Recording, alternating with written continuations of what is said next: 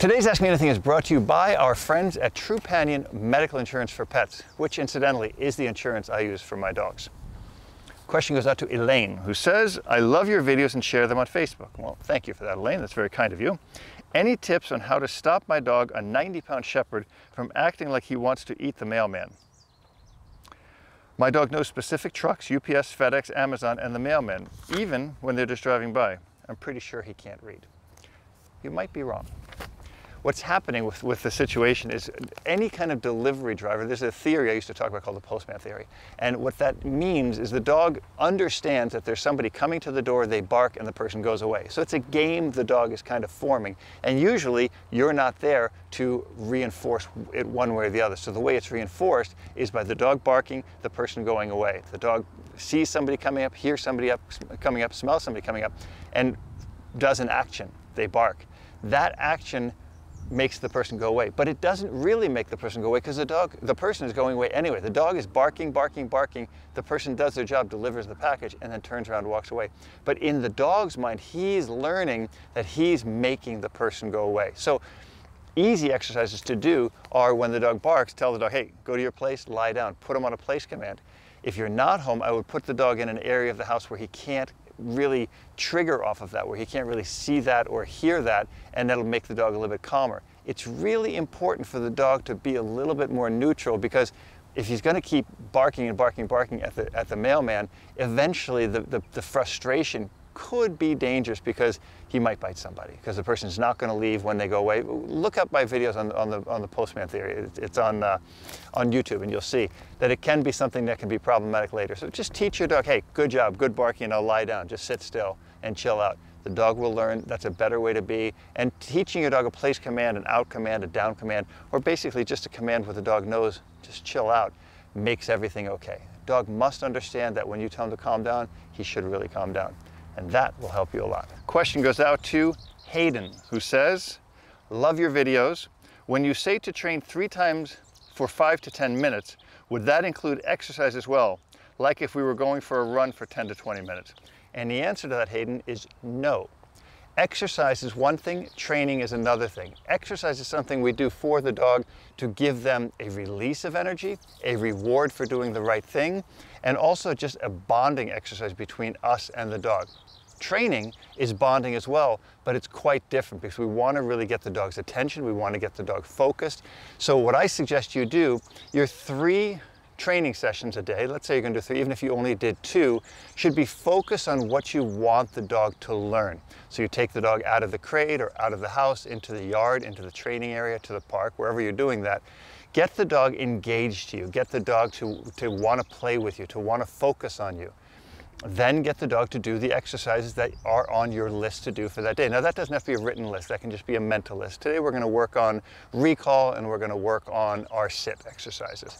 Once we do that, we reward the dog during the exercises. We abundantly reward the dog after the exercise, after the training is complete.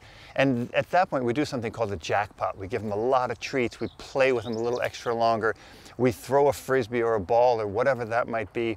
And then we can do exercise with the dog. But what I would suggest you do before you do that exercise is give the dog five or 10 minutes in a crate or just sitting down to kind of think about what you did, to think about the obedience exercises because the dog will digest it better in a calm state of mind. Once the dog is calm, then take the dog out and do your training, or sorry, do your exercises as far as um, running or, or playing or walking or whatever else you want to do. But remember, differentiate. There's a time for obedience and there's a time for play. Later on, you can mix those two together and start doing obedience in your in your um, exercise and in your walking and all that stuff. But right now, keep it separate. Make sure the walks are for sniffing and for having fun and letting the dog be a little bit more free. Training is about structure and obedience. It'll make your dog a lot happier and it'll make you a lot happier too. The question goes out to Margaret, who says, been using your training with my brother's five-month-old mixed breed small dog. He loves to play tug. So I have used that and taught him to sit, out, fetch, and leave it. By the way, Margaret, that's amazing for a five-month-old dog, if, if you're telling me the truth. You might be fibbing it a little bit, but if you're telling me the truth, that's amazing. He is a very quick learner and catches on fast. My issue now is when walking, he wants to tug on the leash. And there is the hiccup. I have stopped and waited for him to stop pulling and drop it, but he comes back and tries to grab it closer to my hand and is jumping up and grabbing on clothing. I know it's an attention issue. I am so as to I am so as to how to stop it. I'm I think you're so unsure how to stop it or what correction should be applied. Thank you for any direction. Love your methods and videos. So part of the equation is that it's a puppy. And a puppy is engaging you to play. The puppy wants to play. The puppy wants to engage. And the puppy wants to play when he shouldn't play. So we need to teach the dog that there's a time to play and a time not to play. Now, the more you engage the dog or you reprimand the dog for doing the, the, the tugging on the leash, the more engagement you're giving the dog. So you're kind of giving the dog a signal like you're playing with him, but not in the way he wants to play. So he'll continue to play until he gets the play he wants. The easiest thing to do is to get the dog to just, to just ignore the dog. That's the first easy thing to do. And your stillness will still, still in the dog, still in. I'm not sure if still is a word, but if it is, you will still in the dog. Um, the more you yell at the dog or try to correct the dog or yank the leash out of the puppy's mouth or do anything like that, the more you're actually engaging the, the exercise. You're engaging the dog to continue to want to do the exercise and play with you. So take the dog out. What I would do is use two leashes. When he picks one up, grab the other one, start walking with him. When he picks, grabs that one, pick the other one back up. Just don't make a big issue out of it because you're teaching the dog to tug, which is a good thing. I'd be careful at the five month window with teething and everything like that. But Get the dog to understand that there's a time to play and a time not to play. And no matter how hard he wants to play, don't play. That means don't, don't yank on the leash because that's the easiest thing. First thing we're gonna try to do as soon as the dog grabs the leash, we're gonna grab the leash and say, hey, knock it off. And that tugging is exactly what the dog is going for. It's a very, very common issue. Part of it is a maturity issue because it's only a five month old puppy. Part of it is that the dog is trying to engage you and being very, um, very smart in learning how to make the game start and how to engage the game. So you've got to outthink the five month old puppy, which you should be able to do pretty easily. Just stop, don't engage the dog, just sit there, wait, check your text messages, and then take off again. And that'll be the best way to do it. The question goes out to Sarah, who asks, older dog doesn't correct puppy at all. He avoids puppy constantly. Should we be worried? We ensure he has separate timeout, lots of one-on-one -on -one play, and cuddles.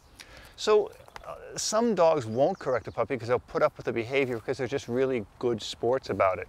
And at some point they may correct the puppy. What I would do in the interest of your older dog, you always want to look out for the interest of your older dog, is draw some boundaries. Let them play. When you see the play and the excitement getting a little bit too high, then take the puppy away and put him in a crate, give him something to chew on a bone, a Kong or something like that, and then give your older dog a bunch of love, take him for a walk, give him some treats, and let him know that you appreciate him being a good sport. You don't want to let a puppy overwhelm the older dog because then the pressure will get too much. And even if the dog is kind of taking it, at some point they might snap and it might just scare the puppy. More than likely your dog is just a really good sport, which is a great dog to have, especially when you get a new puppy. But structure it. Give them a certain amount of playtime, give them a certain amount of um, obedience exercises to call the puppy off, and use the older dog as a distraction. Always remember the puppy should see the older dog as coming first. The older dog gets fed first, gets walked first, gets attention first, gets affection first, gets um, treats first. Everything goes first to the older dog so that the structure of your relationship in your home or your pack, whatever you want to call it, is always going to be nice and fair and balanced. And the puppy will need that, and the older dog will certainly appreciate that. Be sure to take care of your puppy, give your puppy lots of training, give your older dog lots of love, and you'll have a great and happy life. Got a question? Ask me anything. Also, if you want to learn more about Trupanion Medical Insurance for Pets, check the link in the description below.